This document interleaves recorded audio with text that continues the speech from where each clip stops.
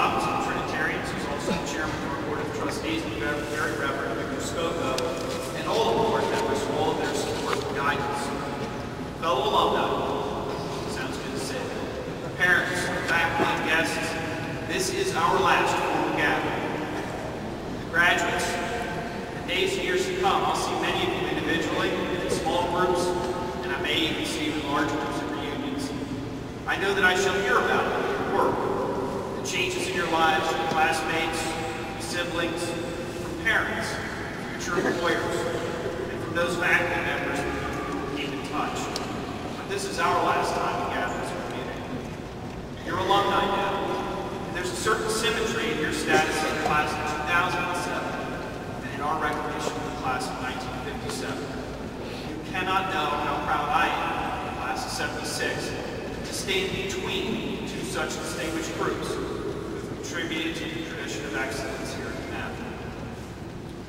Concentric circles or waves that ripple outwards will surround, help from it, water. And so too with us of time. Around you, surrounding you, are members of the DeMatha community, past and present. You're the present, and the past is here represented by the class of 1957, but it includes all 7,000 graduates.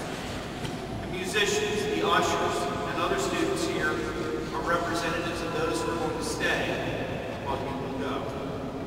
Surrounding us are the faculty and the families who join us. The community we have built, the community we continue to build, anything except neglect.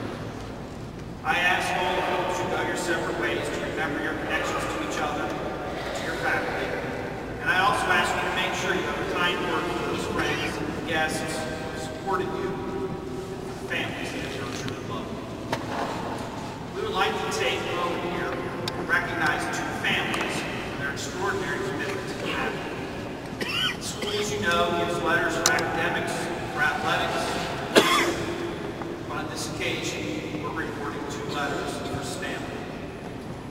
Sending one son through school is a wonderful thing. Sending four or more sons through DeMatha is truly remarkable.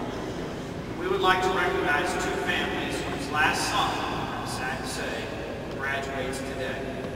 And so, Mrs. Mary Favret Kerley, mothers James, Christopher, and Steve, and Mr. and Mrs. Daniel Wells, parents of Danny, Kevin, Mike, David, Colin, and John, please come forward and receive a letter commemorating and dedication